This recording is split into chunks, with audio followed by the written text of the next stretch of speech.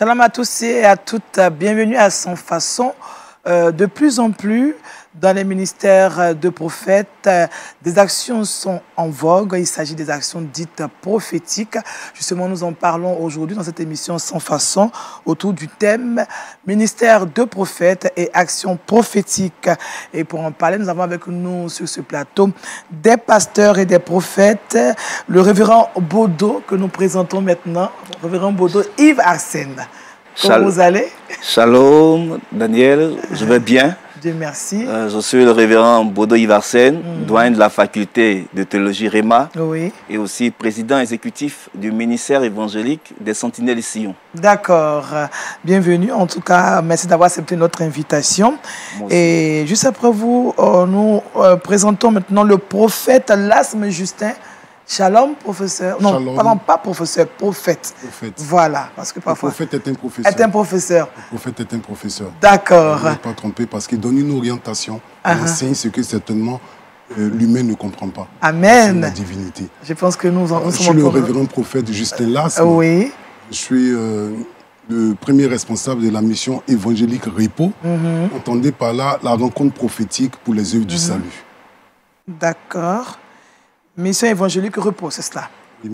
D'accord, bienvenue. En tout cas, merci aussi à vous d'avoir accepté notre invitation. Et nous avons avec nous le prophète Franck Selim de la Cité de Gloire. Oui, Vous allez bien? Oui, je vais bien par la grâce de Dieu. C'est Franck Salim. Franck Salim. D'accord. D'accord. Oui, c'est le prophète Franck Salim de la Cité de Gloire, Hein, pasteur à la Cité de Gloire. Et merci de nous avoir invités. Situé aussi à Abidjan. hein. À Abidjan, Makori précisément. D'accord. Euh, En tout cas, merci encore. Et nous allons, euh, sans plus attendre, rentrer dans notre sujet.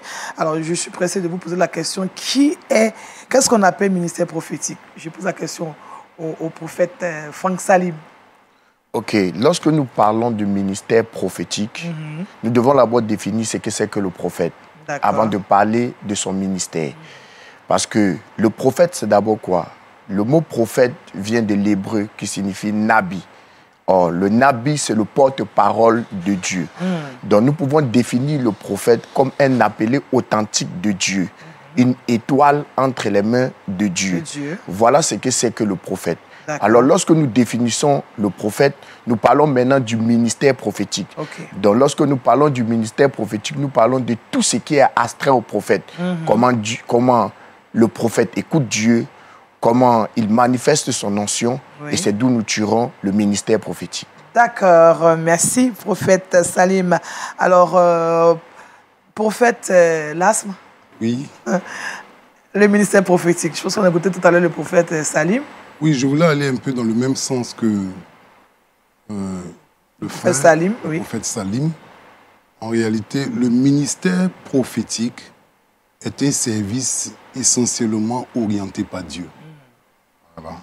Un service particulier. D'accord, On appelle ministère prophétique parce que le ministère étant un service divin, le ministère prophétique est un service particulier de Dieu d'accord. octroyé à un homme, une personne que Dieu mandate par rapport à cette mission.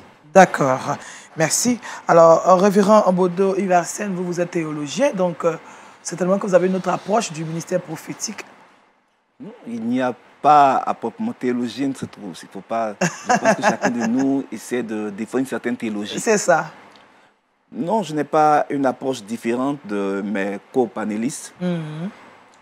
Je crois qu'ils ont bien expliqué. Il faut cependant marquer le fait que il y a plusieurs types de prophètes. Il y a les prophètes de l'ancienne alliance Mhm.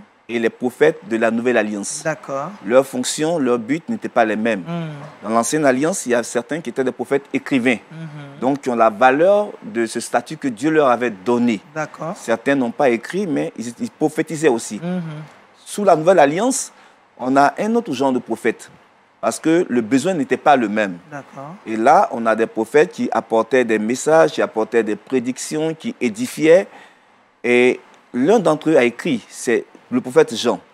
À notre époque, le ministère prophétique présente les mêmes caractéristiques que les prophètes de la nouvelle alliance.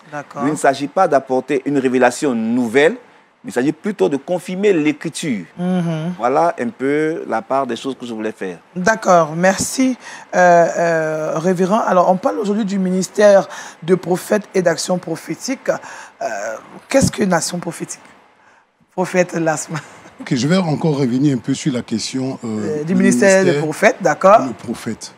Euh, comme nous avons défini tout à l'heure, parce que la définition est la mère de la compréhension. Hmm, Ce que nous ne définissons pas, nous ne pouvons pas prendre. C'est cela, Le ministère prophétique est un service particulier. d'accord. C'est un service particulier que Dieu donne à un individu, à un homme ou une femme, Hmm. à une personne qu'il a mis à part afin d'exercer le divin, d'exercer la divinité. Hmm. La Bible est très claire là-dessus. Nous avons une référence biblique selon Jérémie le chapitre 1 à partir du verset 4 à 5. Je vais lire. Allez-y. La Bible dit, la parole de l'Éternel fut adressée en ces mots. Oui.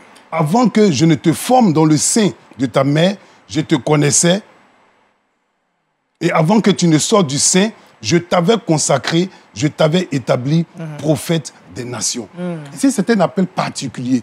Au temps de Jérémie, il y avait plusieurs personnes, mais pour Jérémie, Dieu donne un appel particulier. Il dit, avant même que tu ne sois dans le sein de ta mère, je t'avais déjà appelé, je t'avais déjà établi.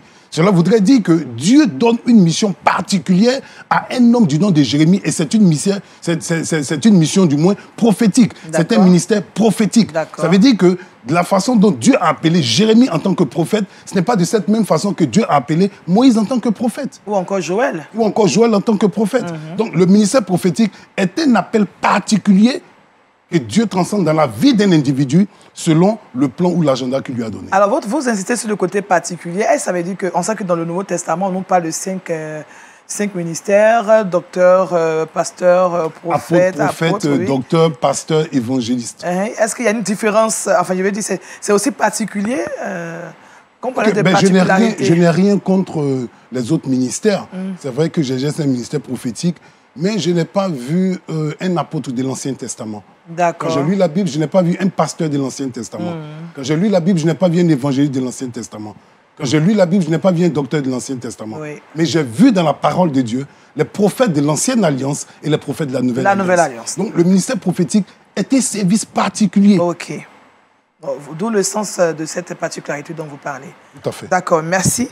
Alors, euh, l'action prophétique, alors, à moins que vous ayez quelque chose d'autre à ajouter, cher euh, euh, panéliste, on pourra le dire comme oui. ça, on peut vous appeler comme ça. Euh, je- Alors, Je veux abonder. là, nous sommes dans le débat. Là. Je veux abonder dans le oui, même sens que euh, mon ami, Mhm. qui, s'il me permet, hein, Oui. qui parle de la particularité du ministère prophétique. Mhm. Mais je veux marquer une petite différence Mhm. en fonction du contexte.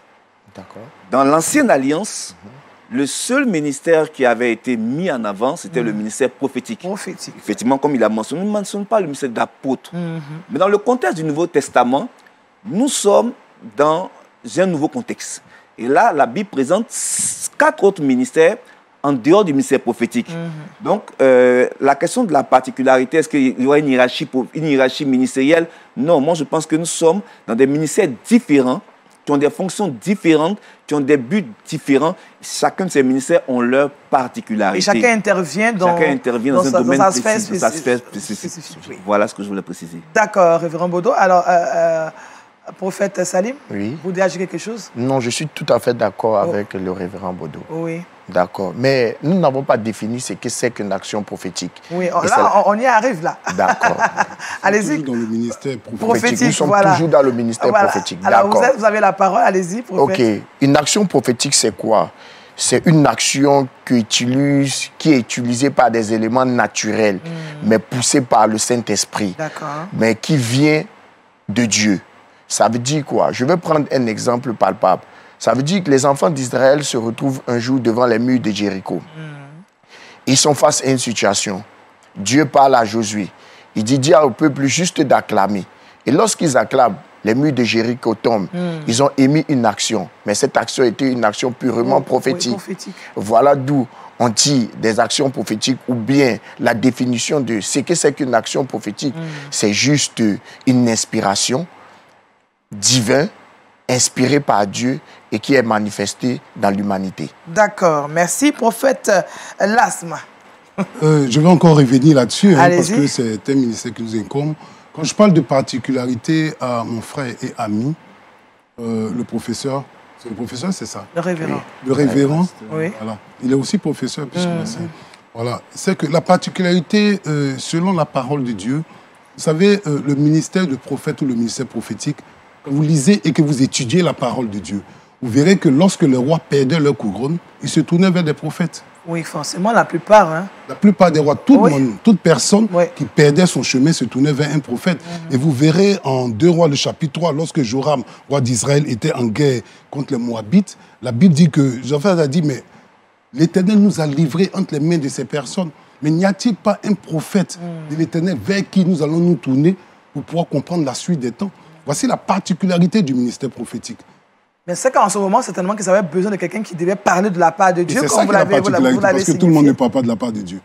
Le pasteur aussi agit de la part de Dieu. S'il porte une onction prophétique, Ah ouais? Oui. D'accord. Il peut juste S'il porte on- une onction prophétique, on il mettra- peut parler de la part de Dieu. D'accord. Voilà, vous savez, euh, euh, quelqu'un a dit que euh, les évangiles nous parlent de la vie de Jésus, mais les épîtres nous expliquent sa vie. Vous comprenez? Euh, Vous pouvez lire, euh, ou vous pouvez enseigner ce que vous avez lu, mais pour révéler ce que vous avez lu, cela vient essentiellement du Saint-Esprit. D'accord, c'est compris. Euh, je pense qu'on on, on avance en nous Si on avance maintenant, je peux répondre par, par rapport à, rapport à à l'action prophétique, Voilà, qui bien souvent accompagne hein, le ministère prophétique. Mais pas tout le temps, hein. Voilà, pas tout le temps.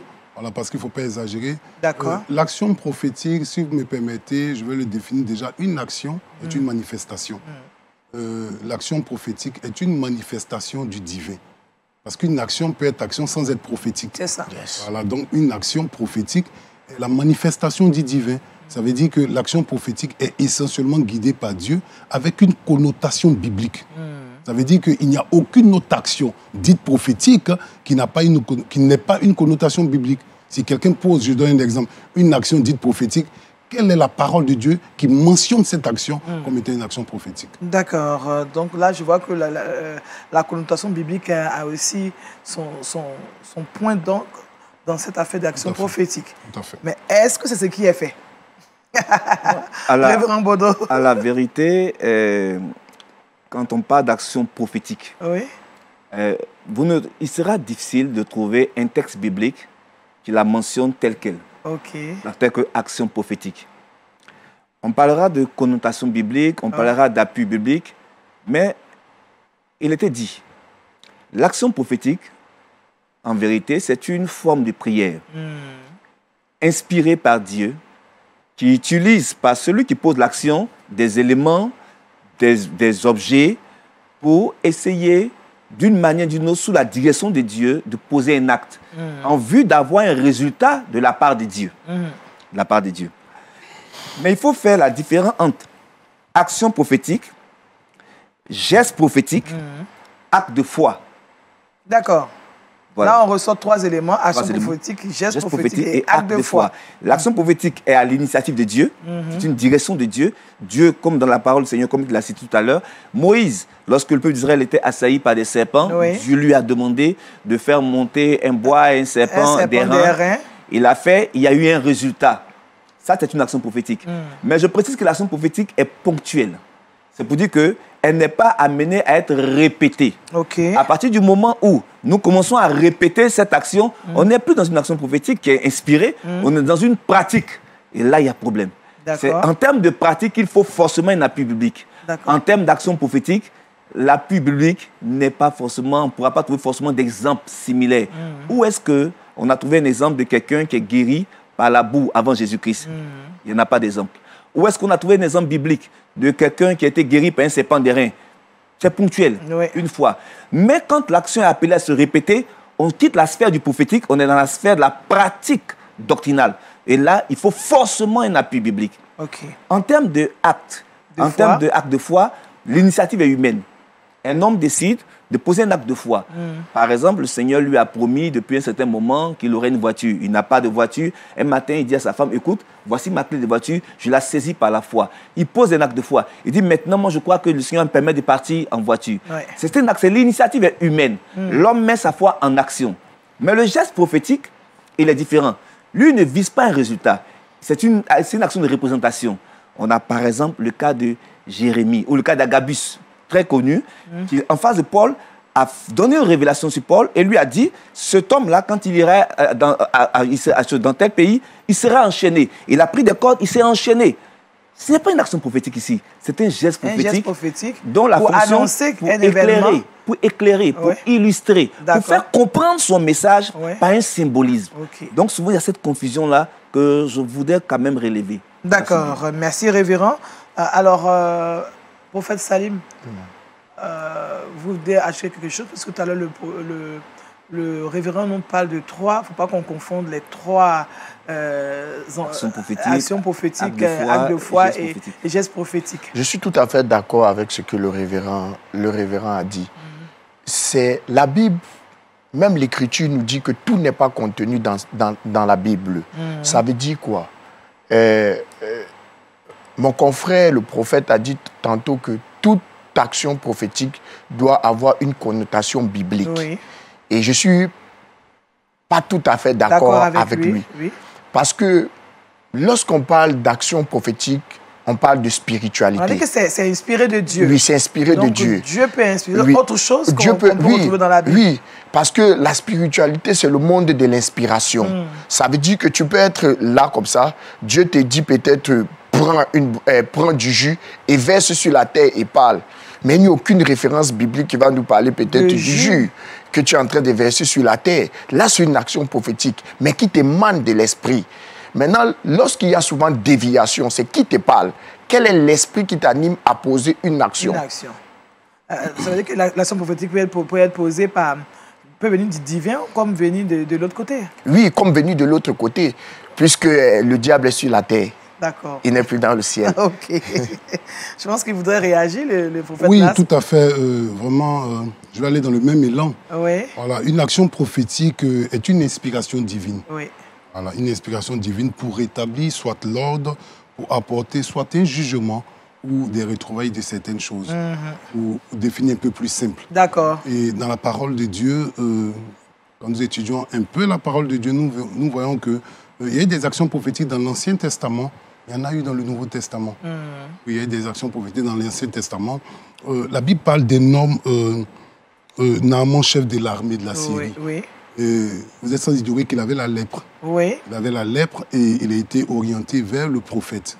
Lorsqu'il arrive vers le prophète pour faire court, la Bible dit que le prophète l'envoie aller se plonger dans le Dans le Le Jourdain. Jourdain. Et il envoie non seulement, non seulement se plonger dans le Jourdain, mais avec un nombre de fois. Ça veut dire, avec un nombre, cette fois, va te plonger dans le Jourdain. C'est ça. Et vous verrez qu'il y a, il y a eu euh, des échanges, du moins euh, euh, des échanges intérieurs concernant Naaman, qui a murmuré un peu sur l'action, qu'il n'avait pas cru. Mais qu'est-ce qu'il voulait? Il voulait sa guérison. C'est ça. La guérison, elle est vague. Il y a l'Esprit de Dieu qui guérit. Euh, il y a l'esprit contraire à Dieu aussi qui peut apporter une guérison.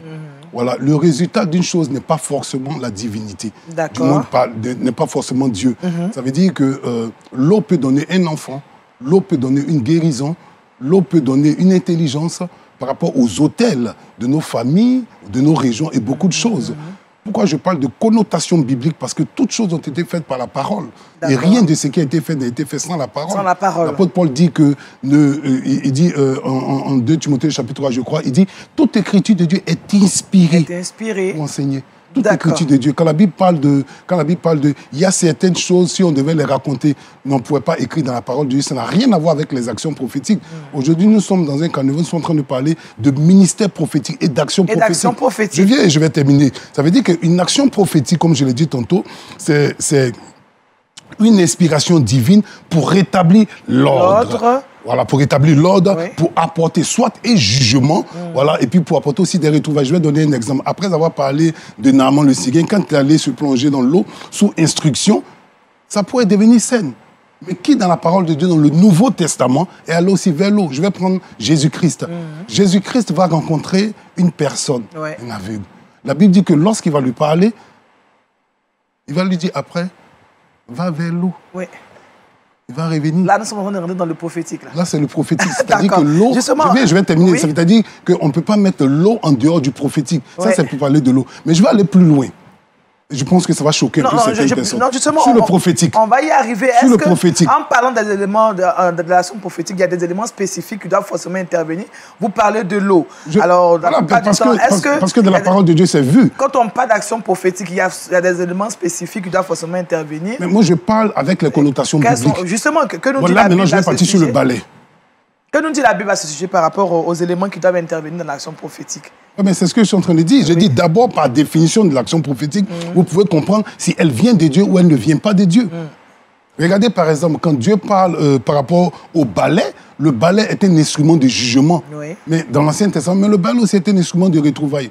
Quand vous prenez le livre de Luc, l'évangile selon Luc, vous voyez, la Bible dit quelle est cette femme, si elle a 10 pièces qu'elle perd, qu'elle allume la lampe de balai à la maison et retrouve ce qu'elle avait perdu. C'est ça.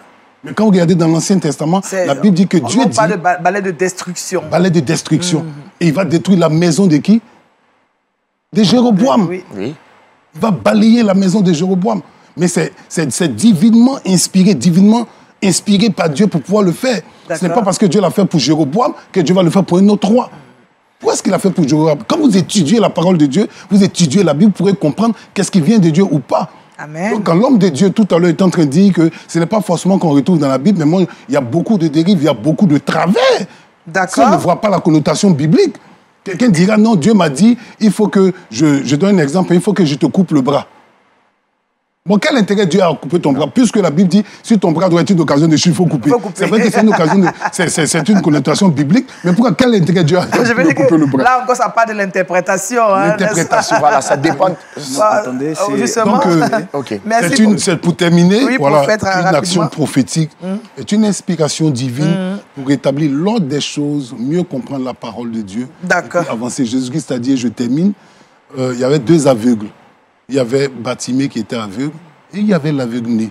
La Bible dit, lorsque Batimé a rencontré Jésus, Jésus lui a dit, que veux-tu que je fasse pour toi? Il dit que je retrouve la vue. La vue. Il dit, va, ta foi t'a sauvé sauvé. juste une prière. Mais pour l'aveugle, c'était une autre chose. Prendre où les disciples vont lui demander, mais qui a péché? Est-ce cet homme ou ses parents? Voici ce que Jésus va dire pour répondre à votre question. L'action prophétique vient pour que la gloire de Dieu soit manifeste. Amen. Bon. Amen. D'accord. On a longtemps si écouté permis, le, le prophète, Le je crois, le prophète Lasme, Oui. si je me permets, euh, j'ai fait la nuance pour nous permettre de pouvoir canaliser notre intervention. Ok.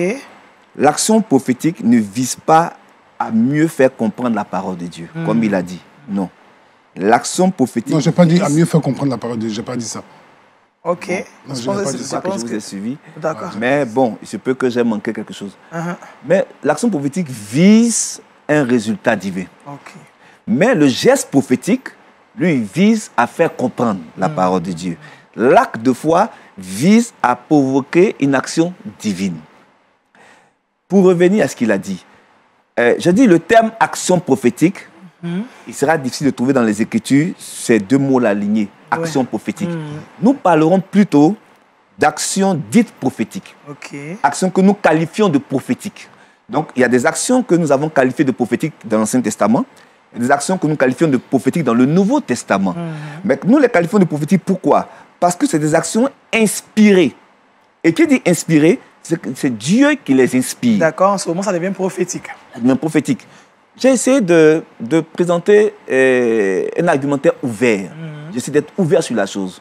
Même si je n'apprécie, je n'abonde pas et je ne peux pas valider les pratiques qui ont cours actuellement dans le monde chrétien. Justement, on va y arriver par rapport Voilà. à- aux pratiques en cours. Mais jusque-là, personne n'a répondu à ma question. Quels sont les éléments justement qui doivent intervenir quand on parle d'action prophétique? Il a- il a- Par il a rapport dit- à la Bible, je pense que le. il a, dit, a, il euh, a le parlé des a parlé éléments, de il a dit qu'il faut utiliser les éléments qui sont dans la Bible. Oui. Moi, personnellement, je ne pense pas qu'il y ait d'un élément précis, l'un ou l'autre, qui interviennent spécifiquement dans une action prophétique. Parce que l'action prophétique, c'est soit une action, c'est soit un élément, c'est soit un objet, plusieurs choses peuvent avoir cours. Mais je précise, et là je suis ferme à ce niveau-là. Allez-y. Je cite comme exemple, quelqu'un, un prophète peut dire, le Seigneur m'a révélé que le 31 décembre, que mes fidèles, comme on l'a vu, on le voit souvent, s'habillent en violet, en rouge et viennent à l'église. Ah, ça, c'est une couleur chaude, un violon Voilà, rouge. ils vont venir à l'église avec cela. C'est très chaud. Pourquoi est-ce que souvent, je trouve que nous sommes là dans une hérésie C'est partir du moment où une personne peut recevoir une inspiration. Quand elle est ponctuelle, bon, ça peut laisser, on peut dire, à débat en, ma- en matière. Mais quand, pour que le Saint-Esprit se manifeste, il faut forcément cette action, il faut forcément cette attitude. Mais il y a une explication, peut-être qu'on va dire que le violet, euh, euh, Il vous dira spirituellement, il y a une explication, le dis- rouge, etc. C'est c'est là que je dis maintenant, il y a un problème. Quand on sort, quand l'action est appelée à être répétée, ce n'est plus une action prophétique. Nous sommes dans une pratique. Pratique. Et la pratique a besoin de l'écriture pour pouvoir être validée. Quel est le verset qui lui permet de faire cette pratique La Bible dit que quand quelqu'un est malade, qu'il appelle les anciens, les anciens oigneront d'huile et prieront pour le malade. La prière de foi sauvera le malade. La pratique, elle est identifiée. Elle est claire. Donc si je le fais dix fois, mille fois, la Bible le dit clairement. Mais dans le cas de l'action prophétique, si vous le faites ainsi, est-ce que vous aurez aussi les résultats? C'est ce qu'il a dit qui est très important. Est-ce que nous devons faire la théorie des résultats? Est-ce qu'une chose, parce qu'elle a un résultat positif, elle vient de Dieu? Pas forcément. Nous voyons que dans le cas de Moïse avec les mages d'Égypte, quand il a jeté son bâton, il y a eu des serpents. Mais les mages d'Égypte aussi ont jeté leur bâton. Ils sont transformés en serpents. Il y a eu un résultat. Aujourd'hui, l'év- l'évangile est le monde évangélique est rentré dans cette théorie des résultats. Comme tel prophète l'a fait et que ça a marché, Ça a marché. du coup, on dit ça vient de Dieu parce que ça a marché. Mais le diable aussi fait des choses qui marchent. Donc faisons attention. D'accord. Euh, prophète la- euh, euh, euh, Salim? Non, je suis tout à fait d'accord avec ce que le révérend a dit, Bodo oui. avec ce que le révérend Baudot a dit, mais j'aimerais ajouter quelque chose que euh, Le prophète Lasma. le prophète Las a dit. En ce qui me concerne, je, je crois d'abord aux actions prophétiques, ça c'est d'un, mais je ne crois pas aux abus Des actions prophétiques. des actions prophétiques. Ok. Je, suis, je suis très scripturaire dans ce que je dis. Quand vous parlez d'abus, vous voulez parler de quoi? Quand je parle d'abus, ça veut dire je parle de déviation. Ok. Parce que là où il y a une éclosion, il y a toujours une déviation. Hmm.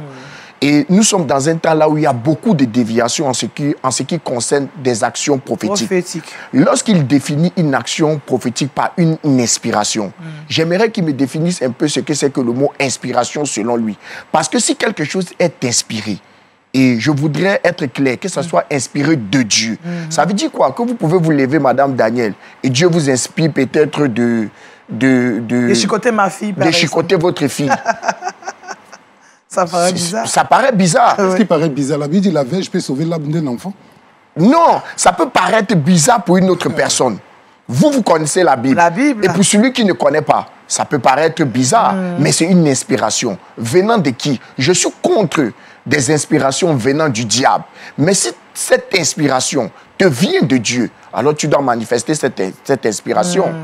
Tu dois manifester. Je vais prendre un exemple. Une fois, j'étais euh, allé consacrer euh, euh, un lieu d'une de mes filles. Et Dieu me dit, j'ai bu un jus, j'étais en train de prendre du jus, il fallait que je prie. Alors pendant que je suis en train de prier, le Saint-Esprit m'inspire, j'ai eu une inspiration. J'ai pris le jus que je buvais et j'ai versé, j'ai commencé à parler sur son lieu. Aucun passage de la Bible ne me parle peut-être du jus. Ouais. On va me parler On- de on- l'eau. On doit parler peut-être de l'eau, bien du sel. On va me parler du sel. saveur, On va euh, me parler, je ne sais pas quoi. Mais c'est une inspiration. Oui. Mais elle est divine. Ça, ça- ça- ça voudrait dire donc euh, que, euh, je veux dire, les éléments ne sont pas forcément bibliques, ça peut venir un peu de partout. À partir du moment c'est une inspiration divine, Oui. euh, une action prophétique. Mais on doit, on doit, on doit faire, euh, euh, euh, on doit départager les choses comme le révérend dit. D'accord. Je crois euh, euh, euh, aux actions, mais pas aux pratiques. Pas aux pratiques. Parce que lorsque ça devient une, Une pratique, pratique. ça devient peut-être déjà démoniaque, ça tire à la sorcellerie, Ok, au fétichisme. au fétichisme. voilà. Oui, prophète Las. Oui, je- j'entendais tout à l'heure euh, le révérend parler de gestes prophétiques. Je pense qu'on n'avait pas encore posé la question. Nous allons arriver là. Mhm. Mais nous il, sommes- a donné, nous sommes il a donné un très bel exemple par Oui. rapport à Paul. Mais je voulais encore revenir euh, sur euh, l'action prophétique. Il faut être clair. Mhm. Il faut être clair et nous sommes vers la fin des temps. Oui. Nous savons que nous sommes vers la fin des temps et nous savons, nous savons ce que les Écritures nous disent Mhm. par rapport à la fin des temps. Voilà. Donc, euh, la seule chose, le seul document légal Mhm. qui prouve l'existence de Dieu, c'est la Bible. C'est ça On ne peut pas faire quelque chose en dehors de la Bible. Le seul document. La Bible, et souvent je le dis, je dis la Bible est une pharmacie. Et chaque verset biblique est un médicament adapté Amen. à ta situation. C'est le seul document légal. Nous ne pouvons pas travailler en tant que ministre de Dieu, serviteur de Dieu, enfant de Dieu, en dehors de la Bible. Plusieurs livres peuvent nous informer. Mais la Bible nous transforme. c'est Justement, la Bible, on, on ne l'ôte pas, mais vous parlez aussi de tout à l'heure de- de- de- de- d'inspiration. Voilà. Et cette inspiration, c'est ce que je dis. La Bible elle-même est inspirée. C'est ce que j'ai dit, Voilà, c'est- pas l'esprit qui inspirée l'a par les écrit de la part de Dieu. C'est ce que je dis. J'ai dit que, étant donné que la Bible est inspirée, mais puisque c'est le seul document légal, nous ne Ouais. pouvons pas avoir une autre inspiration en dehors de ce document. Il faut qu'elle ait une connotation. L'inspiration que vous aurez doit avoir une connotation, surtout s'agissant d'un geste ou d'une action prophétique. Quel est le résultat du geste de l'action prophétique avec le verset biblique qui accompagne Parce que c'est pour ça, c'est pour cela qu'on peut voir un peu beaucoup de dérives, on peut voir beaucoup de déviations, parce que quelqu'un fera quelque chose et ne montrerait pas cela dans la parole de Dieu, disant que j'ai été inspiré de Dieu. Je peux avoir euh, euh, une éclaircie de la part du prophète. hein. Donc, je veux avoir une éclaircie. Une éclaircie.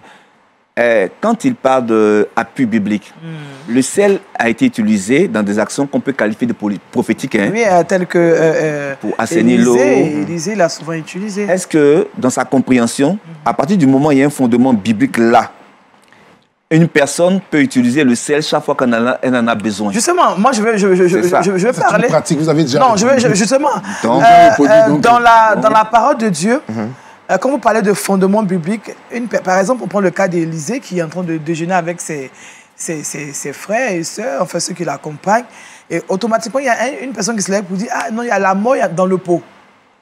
Élisée prend la farine, il dit Bon, mettez la farine dans le pot, et quand ils le font, bon, la mort disparaît. Est-ce que là, elle euh, ce geste-là a été, enfin, cette action prophétique-là a une connotation biblique ou bien par rapport à, parce qu'on sait que Élisée et autres avaient quand même euh, une que- base. qu'il y a un verset spécifique qui lui permet de le faire De le faire. Ok, ben moi je En vais. quoi est-ce que la farine pouvait enlever la mort dans le pot? Ok, je vais. euh, je voudrais vous poser une question Mhm. pour répondre à ce que vous avez dit. Euh, selon vous ou selon nous, euh, on ne va pas citer. Il y a combien de prophètes dans la Bible, mais euh, qui a été le premier prophète? Le terme de prophète Abraham. a été Abraham. Parce été- qu'Abraham avait déjà prophétisé? Non. Pourtant, il était prophète. Prophète, oui. Abraham était prophète, mais il n'a pas prophétisé. Est-ce qu'il a, il a fait, prié. est-ce qu'il a fait des actions prophétiques aussi? Il a prié. Nous parlons d'abord de prophète. On parle d'abord. Même prier, c'est une, c'est une action. une action prophétique Petit. aussi. une action. Hmm. Abraham, il a prié. Et son intercession a été prophétique. D'autant plus que le prophétique, c'est pour apporter un résultat Ok. par rapport à Dieu. Et quand, euh, quand on regarde la vie d'Abraham, euh, le jour où le thème prophète sortira sur la mission et la vie d'Abraham, c'est par rapport à une action qui s'est passée avec le roi. Il dit, Melchisédek. garde à cette femme Non, non, le roi en Égypte. en Égypte. Mhm. Ne touche pas la femme de cet homme. Parce C'est qu'il un est prophète. prophète. Il priera pour toi. Mais il n'a pas prophétisé. Il n'a pas posé d'action prophétique. Nous ne pouvons pas centrer un ministère sur les actions prophétiques. Ça devient une pratique. Non, là, Ça devient- même si vous êtes prophète, Oui. vous avez un ministère prophétique, mais votre ministère là, doit être essentiellement basé sur la parole de Dieu parce que il y avait l'école des prophètes. Mais la parole, la quand vous parlez de la parole de Je Dieu, parle de la Bible, je parle Bon, des Écritures. Même la Bible. Pas des Écritures. Même, la- même les Écritures bien de la Bible. La Bible, c'est, la Bible, elle est prophétique. Vous ne pouvez pas enlever les actions prophétiques du prophète. C'est comme si vous prenez un poisson et vous le sortez de l'eau, vous voulez qu'il vive. Vous avez enlevé quelque chose de lui. On ne peut pas enlever l'action prophétique du prophète. C'est comme, un- comme une âme pour lui. On ne peut pas. Je, Donc- je suis donc contre la- ça. L'action prophétique Non, est rattachée au prophète-. Non, est rattachée au ministère du prophète. Est rattachée soit au ministère du prophète ou au ministère prophétique. Prophétique. Parce que Abraham était prophète, Un mais il n'y a pas eu d'action prophétique. créer une action prophétique. Un pasteur peut, peut poser une action prophétique, prophétique. par rapport à, euh, euh, par rapport, euh, permettez-moi l'expression, à l'esprit prophétique, Prophétique. qu'il peut avoir. Mais quand on dit on ne peut pas enlever le prophétique Mmh. euh, du prophète, je ne suis pas d'accord. Pourquoi? Parce que tu peux être prophète sans poser d'action prophétique. On a vu l'exemple d'Abraham. Donc Mais un quand- prophète n'est pas forcément mais tout à quelqu'un qui l'heure, doit le- poser le- des actions Justement, le, le- le prophète euh, euh, Salim nous dit que la, la prière, c'est une action prophétique. Oui, prier, c'est une action parce que ça porte un but. Lorsque tu pries et que tu crois fermement, il y a, il y a- il- y a un objectif. Parce que si on s'appuie justement Non, prier, sur... c'est pas une action si c'est pas... Ah bon? C'est une action. Ouais, c'est pas une action, Qui- c'est une non. action, mais pas une action prophétique. Ah, ok. Alors, à, à partir de quel moment Oui. on qualifie une action de prophétique? Prophétique. Justement, On la moi- qualifie Merci. de prophétique voilà, là, c'est la question à qui venait. partir puis- du moment Oui. où cette action-là a été faite à l'initiative de l'Esprit de Dieu, Oui. sous une direction de Dieu. Donc Dieu peut inspirer la prière. Avec des objets. plusieurs éléments. Avec plusieurs dis avec éléments. des objets, tout Avec ça. c'est une forme de prière. C'est toujours une forme de prière. Je suis pleinement d'accord avec le prophète Lasme. Je sais qu'il en est conscient. Je suis pleinement d'accord avec lui. Mais je marque un peu légèrement ma différence concernant l'ouverture d'esprit. Je dis toujours que quand c'est ponctuel, on peut accorder le bénéfice du doute. Je dis pourquoi je le dis. Parce que toutes les actions que nous avons qualifiées, que nous avons qualifiées sur ce plateau de prophétique dans l'Ancien Testament ou dans le Nouveau Testament, Oui. n'ont pas de répercussions des antécédents bibliques. N'en ont pas. Ça a été toutes des actions ponctuelles. Comme Dans le cas de Moïse, le serpent des reins. Dans le cas d'Élisée, la farine pour le pot. Oui. Dans le cas de Jésus-Christ, la boue pour l'aveugle. Il n'y a pas eu d'exemple précédent à cela. Il n'y en a pas. C'est pourquoi je dis, quand c'est une fois, le bénéfice du doute peut être accordé. Deuxième fois, peut-être par accident, oui. Mais quand une personne vous dit que avant que le Saint-Esprit se manifeste dans son assemblée, Oui. il faut qu'elle prononce tel terme ou tel terme ou tel terme, Là, ça, ça là je dis non, attention. à du fétichisme. On est- ça ne ressemble pas, c'est du fétichisme. Fétichisme. Ouais. Nous sommes en pleine sorcellerie charismatique. Parce qu'il faut donner le terme qu'il faut. Aujourd'hui, là, pour aller plus loin, il y a plusieurs personnes qui ont des bouteilles d'eau chez eux. On a prié pour les bouteilles d'eau, on leur a donné aux fidèles. Ils vont vous dire, ils vont vous citer des versets bibliques comme appui. C'est pourquoi il a dit quelque chose qui est important. Il y a une question de compréhension, il y a une question d'interprétation. Oui. Plusieurs personnes s'appuient sur les psaumes mal interprétés pour poser des actions dites prophétiques en disant que non, retour à l'envoyeur. Est-ce qu'ils ont bien lu l'écriture? Certaines personnes nous disent aussi souvent que le Seigneur nous a dit dans sa parole, c'est écrit, tout lieu où floura la plante de votre pied, je, vous le donne en héritage. Puis en héritage. Est-ce que vous savez combien de lieux, Madame Krabi, vous avez foulé avant de venir ici C'est ça qu'elle a Si. Dieu vous doit vous donner chaque lieu en héritage, mais il n'y aura plus. Justement, est-ce que ça, c'est pas sous-entendu aussi? C'est une mauvaise interprétation on de que la l'écriture. parole de Dieu aussi est codifiée. Il y a beaucoup de C'est une mauvaise interprétation parce que l'écriture est claire. Quand on est le cas de l'Ancien Testament, Hmm. il faut faire attention. Ça, c'est des textes narratifs. Dans un texte narratif, tout ce que Dieu donne, c'est des promesses indirectes. Ce pas des promesses directes. Quand il dit, il a dit à Abraham, je rendrai ton nom grand. Il n'a pas dit à Bodo, je rendrai ton nom grand. Donc, quand je veux prier par rapport à ce texte biblique-là, je ne peux pas l'appliquer comme une promesse directe. Vous dites, tu m'as promis, il t'a rien promis. Mais il a promis à Mais Abraham. il peut arriver que moi, si je suis en train de lire la Bible, le Seigneur me dit, prends tel passage. Très bien. Là, là, là moi, je l'ai expérimenté. il a appliqué J'étais dans ma chambre il une fois. appliqué à toi. Et le Seigneur me dit, prends un passage. Je prends le passage, je le lis. Et cette parole concernant Abraham, mais il me dit, je, je- je te, je te donne cette parole. Là, en ce moment, il fait quoi? Il te l'a appliqué. C'est lui qui te l'a appliqué. Ce que je veux dire, il Oui. faut faire la nuance en fait. Il y a une question, il y a une, il y a une- il y a une question fondamentale d'interprétation. Hmm. Vous savez comment le peuple d'Israël priait Le peuple d'Israël disait tu à Dieu, tu as promis à nos pères, Oui. tu leur as dit ceci. Hmm. Tu as dit à nos pères que tout lieu foulera, tu leur donneras. Hmm. Voilà comment un enfant de Dieu peut prier. Seigneur, voici un terrain que je veux pour ton, pour ton, église, pour ton œuvre. Hmm. Tu as promis à Israël que tout lieu vont fouler, tu vas leur donner parce que la terre t'appartient. Hmm. Si si tu l'as fait pour Israël, tu es capable de le faire pour moi. Voilà comment on revendique une promesse de manière Donc, indirecte. c'est la forme qui doit changer. La forme doit changer parce que d'abord, il faut, il, faut, il faut avoir une bonne compréhension. Mais comme on n'est pas sûr, pas pour faire de l'exégèse à ce niveau-là, Justement. euh, nous sommes dans le cas de l'action prophétique. Je voudrais que dans notre application de l'écriture, en termes d'action prophétique, nous fassions quand même un peu attention. Voilà un peu. Mhm. Alors, est-ce que, vous avez répondu à cette, à cette question hein, euh, Forcément, la- la- l'action prophétique est rattachée au ministère de prophète. Oui. Forcément. Et mais, mais quand tu dis action, c'est ce que je disais, tout dépend de la définition. L'action dite prophétique est une action inspirée. Tout ministère qui est, qui est inspiré de Dieu peut poser une action. prophétique. C'est le Saint-Esprit qui prend l'initiative. D'accord. Il peut utiliser qui il veut. Il peut utiliser même une femme qui n'est même pas servante de Dieu. Lui dit, bon, euh, ma fille, je voudrais que quand tu vas te lever le matin, la voisine, dis-lui bonjour, Dieu te bénisse. Moi, le Seigneur m'a conduit à gagner un musulman au Seigneur comme cela. Je l'ai croisé, je lui ai dit, comment ça va mon frère? Et le Seigneur m'a dit, dis-lui qu'il va se convertir d'ici le soir. Je lui ai dit, mon frère, tu vas te convertir d'ici ce soir. Il a réagi, tu dis quoi? J'ai dit non, tu seras chrétien. Et le même soir, je l'ai croisé. Il était chrétien. Amen. Est-ce que ce n'est pas, un acte de foi? Non, j'ai dit, j'ai dit, j'ai dit l'initiative. Quand l'initiative est poussée par l'esprit, ce n'est pas un acte de foi. L'acte de foi, l'initiative est humaine. Un homme s'appuie sur l'écriture, lit l'écriture, dit bon, ok, moi je pose cet acte de foi. Mais à partir du moment où votre acte est dirigé par une direction de l'esprit, c'est une action prophétique. Alors, révérend Bordeaux, vous n'êtes pas d'accord pour le fait que l'action prophétique soit euh, essentiellement rattachée au ministère de prophète Euh, Ouais, prophète Las. Prophète Las. Ou bien parler au révérend. Allez-y, allez-y. Ok, je voulais dire, euh, je bénis Dieu parce que nous sommes à une émission Oui. qui a une inspiration divine. Nous Amen. sommes à LMTV. Oui. Lumière du monde télévision. Lumière du monde. Donc éclairage. Hmm. C'est du monde. prophétique, À partir alors. de quoi? À partir des Écritures. Amen. C'est qui le prophète? Hmm. Et tout à l'heure, euh, le prophète l'a défini. Prophète, euh, c'est un mot qui veut dire napia, qui veut dire porte-parole de Dieu. Hmm. Mais il y a une définition un peu plus profonde. Prophète, pro, qui veut dire avant, c'est-à-dire celui qui voit avant que la Hmm. chose n'arrive. Donc il est le porte-parole de Dieu. Il n'est pas le porte-parole d'autre chose. Il est le porte-parole parole de Dieu. Mais Dieu se trouve où? Dans sa parole qui est la Bible, c'est que nous avons qui représente Dieu.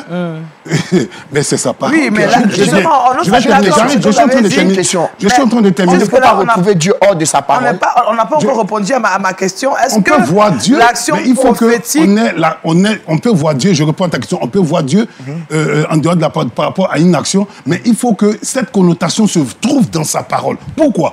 Parce que j'ai- j'ai j'ai rencontré un homme dans mes recherches, j'avais rencontré un homme qui était prophète avec plusieurs autres prophètes. Mhm. J'étais en train de suivre un peu leur vie. Et cet homme, il était, il était prophète, mais il y avait, trop- il y avait d'autres prophètes, mais ils étaient opposés. Hmm. Ils ont voulu voir qui était le véritable prophète. Je vais parler d'Élie, le prophète des il Baal. est prophète de Baal Ils étaient aussi prophètes, mais ils étaient prophètes de Baal. Donc l'action prophétique n'est pas reliée forcément à un prophète. Mais l'action prophétique est liée à un prophète de Dieu. Et le prophète de Dieu, il est inspiré par Dieu avec la connotation biblique. Biblique. D'accord. le prophète, pour terminer, veut dire avant, il voit en avant, mais par rapport à ce que Dieu a écrit, parce que toutes choses, je reviens, ont été faites par la parole, et rien de ce qui a été fait n'a été fait sans, la sans, parole. sans elle. Alors, est-ce qu'il y, a- il y a un cas spécifique où doit se manifester euh, une action pro- prophétique? Un endroit spécifique où on doit peut-être poser une action prophétique Est-ce que c'est à l'église, à la maison ou Ma part, euh, la Bible ne donne pas de cadre spécifique. Mhm. Si nous en tenons aux recommandations de l'Écriture, il y a eu plusieurs situations dans une maison. Il y a eu la situation où Moïse a levé son bâton, c'était c'était dans la rue. Il n'y a pas de cadre spécifique. À partir du moment où la direction de Dieu est claire et l'acte à poser, c'est le Seigneur qui donnera la manière dont cela doit être fait. Voilà, donc il n'y a pas de cadre spécifique. D'accord. Euh, euh, prophète Je, Salim je suis du même avis avec le, le révérend Bodo. Mais nous devons comprendre une chose.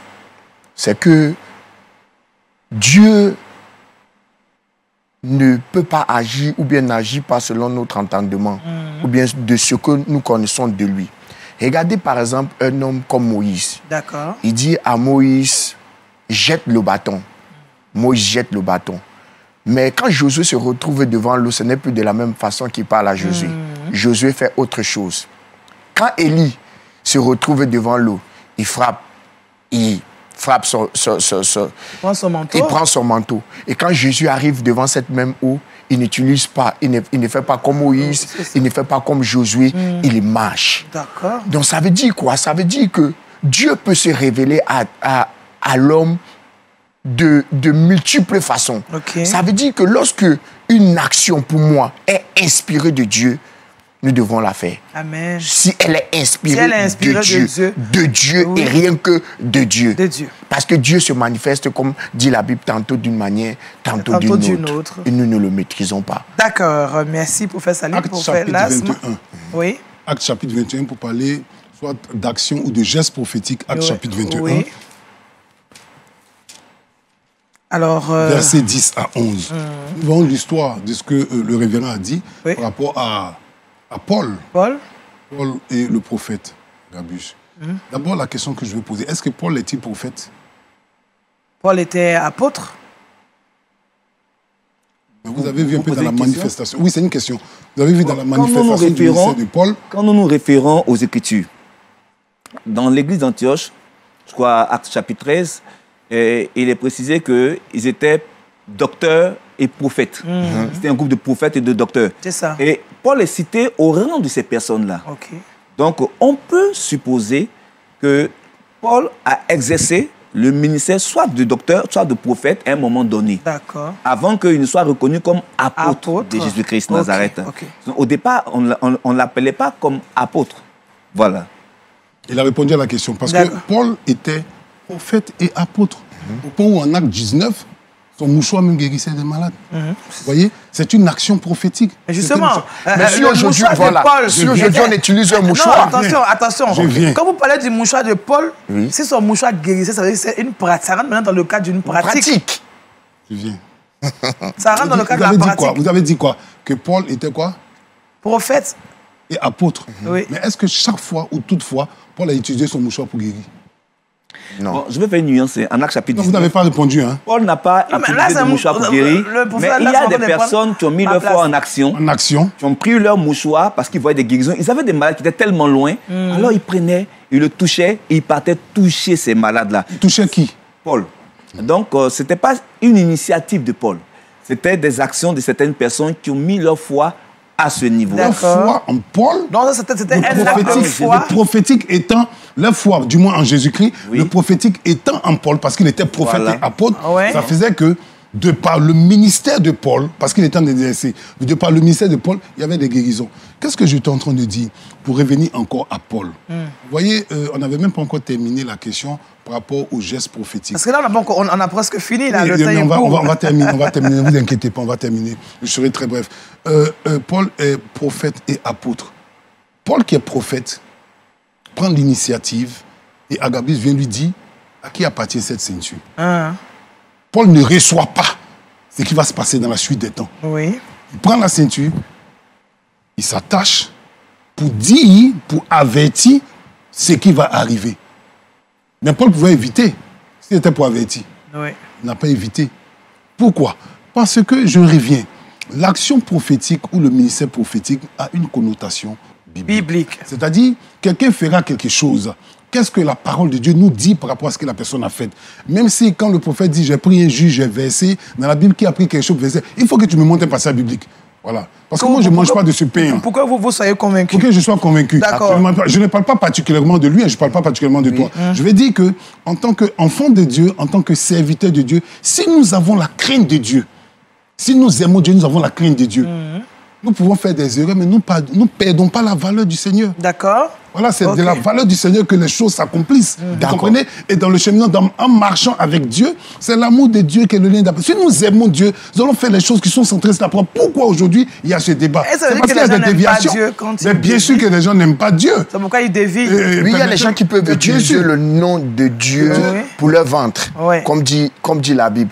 Mais je vais répondre, par exemple, à, à- à- Au prophète Las. Lorsqu'il me dit que quand je prends un juge, Non, non, je ne parle pas particulièrement de toi. Parce que moi, je ne connais pas ça, en fait. D'accord. Moi, particulièrement, moi, je ne connais pas euh, prendre... Peut-être Dieu peut t'inspirer. Oui. Mais moi, si tu dois vous faire ça... aussi je que, viens, que, je viens. que, que Dieu a transformé peut-être euh, tu l'eau en vin. dans une assemblée, Oui. dans l'assemblée de Jésus-Christ. Oui. Jésus-Christ qui est mort au poteau de la croix pour nous. Oui. Une église n'appartient pas à un homme. Personne n'est mort au poteau de la croix. Mais tu là, viens là, dans l'assemblée de Christ. là, il a, expliqué le cas dans le, dans le Voilà, cas tu, spécifique. je viens, Il tu viens dans l'assemblée de Christ et tu veux poser une action prophétique, mais tu vas, le- tu vas la poser avec Il faut la parole forcément de Dieu. être basé sur, sur la parole Sinon- de Dieu. Mais parce que si tu ne la poses pas, la parole de Dieu, mais tu vas voir dedans. Alors dites-moi, cher, cher, cher serviteur, dites-moi, est-ce qu'il y a un impact justement sur la vie du chrétien aujourd'hui? Parce qu'on sait que les actions prophétiques sont très en vogue. Est-ce qu'il y a un impact réel sur la vie du chrétien aujourd'hui?